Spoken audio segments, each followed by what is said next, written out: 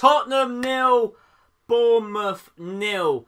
Now, I don't really know where to start in that one. Probably one of the most frustrating games of football I have watched for a very long time. I've just witnessed Tottenham fail to fail to have a shot on target for a majority of the game. It might have even been all game, but I know definitely for a fact in the whole of the second half.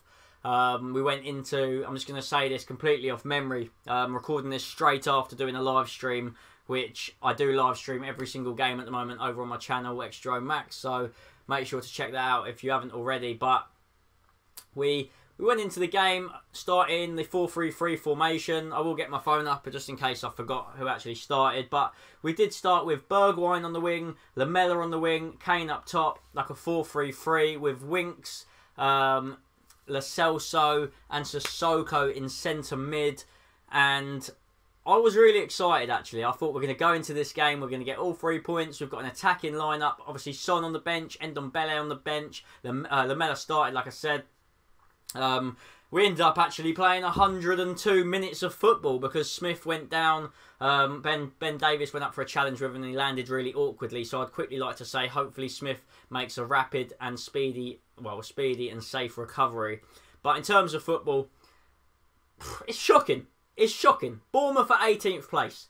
We're currently sitting the 10th or 9th, one point behind Arsenal, two points behind Sheffield United, and three points behind Wolves. If you'd said that to me last season, that this is going to be the way things are going, I'd laugh in your face.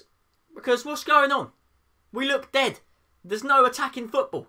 We look like we, we, we're, we're failing to shoot. We're failing to register anything at goal. It's like we're scared to have a go. This is Bournemouth for crying out loud. And no disrespect, but they're 18th for a reason. The Champions League's gone. Champions League's absolutely done out here. We're not getting anywhere close to that. And we're not even probably getting European football. Sissoko once again starts. Um, I actually really like him. He, he he breaks the play up, he gets the ball moving. So does Lo Celso. Lo is brilliant. I think he's one of our best players. Kane just looks tired. Kane looks like he needs a rest.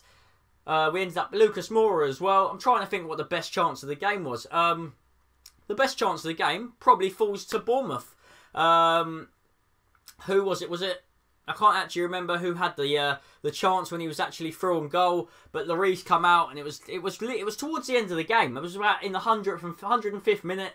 So Lloris has come out. No one out, no one's there. No one is actually there to take it to defend. Ben Davies caught out of position. Ben Davies and Aurier had an absolute dreadful game yet again. Um, they think they're they, they're fullbacks that can push up and down the wing. They're not. They can't defend. They can't attack.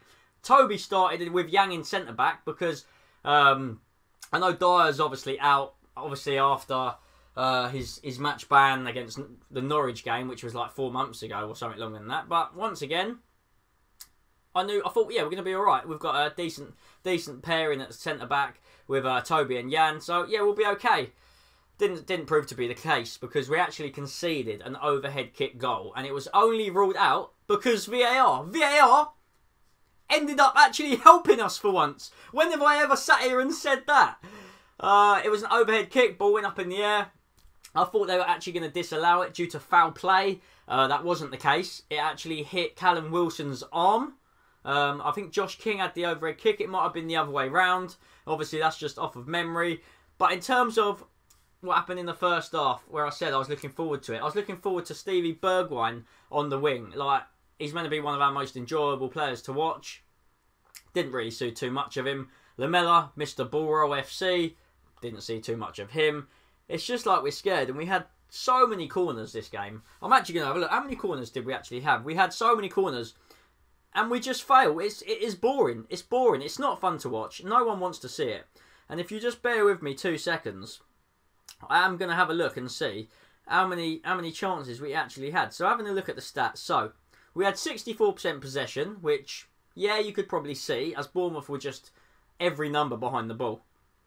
We had, right, shots on goal. It says zero. Now, I think that means on target.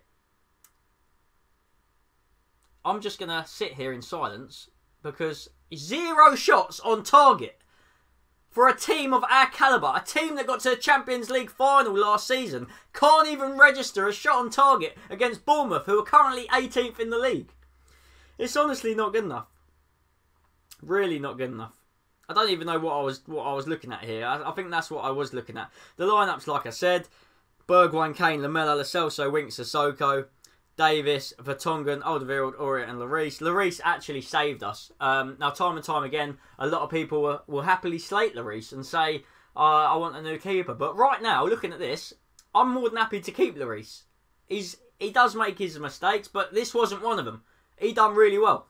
he done really well. Um, Kane just looks tired. Um, who else was it? Aurier just gets caught out, out time and time again. And you've got to think we've got we've got Arsenal moving forward on Sunday. Arsenal in the Premier League, a team that recently have put together a few victories. If I sat here and tell you I'm looking forward to it, I'll be lying to you. There's no way on earth I'm looking forward to that. If anything, I'd rather sim it like on FIFA. I don't want us to see the final result. I'd rather go on holiday. Because right now, they're going to be buzzing for this. They're going to see that we're struggling against teams like this. They're going to see that we're tired. Ndombele came on as well. And I'm crying out to see Ndombele starting. The way he can drop, drop the shoulder, uh, pick a pass or fizz it into someone. The geezer's just oozing talent. He's got class. And there must be something behind closed doors that we're not seeing for him not to be starting. But Arsenal are going to be... They're going to be up for it. And a lot of people during my stream were saying oh Max, um, I'm not looking forward to the uh, North London derby, and it's one of them. You just don't know how we're going to play. I said I'm not looking forward to it because I'm not looking forward to it after results that we've had. We had a 1 0 win um, last time round because of an own goal. Like, yeah, do you want me to be buzzing about that? Not really, because we haven't been playing well at all. And then we've got Arsenal to come. Arsenal to come when they're in form, you could argue. They've just hit form towards the end of the season. Um, it's going to be interesting. Um, I honestly couldn't tell you who I want to be starting. I'd love to see Ndombele start. I want to see Toby and Jan starting for that one. Aurier needs to just do one. I'd rather play Sissoko at right back because at least you know Sissoko can actually get back and get forward. Like Sissoko, I, I love him. I have, I have a soft a soft spot for him. Even even if I know he can't shoot and he can't really do anything going forward. But I'm gonna I'm gonna end it there. I'm I'm annoyed. I've got nothing else to say other than look how dead we were. We were awful. I'm ending it on zero shots on target in the whole second half. Honestly. If that's not something to laugh about, if you are not if you're not a Spurs fan and you're watching this, you're probably laughing. But anyway, I'm done. Drop a like if you have. I've had enough. I've had enough. I'll, I'll speak to you guys later. I'll see you on Sunday for Tottenham against Arsenal, and I'm done. Goodbye for now.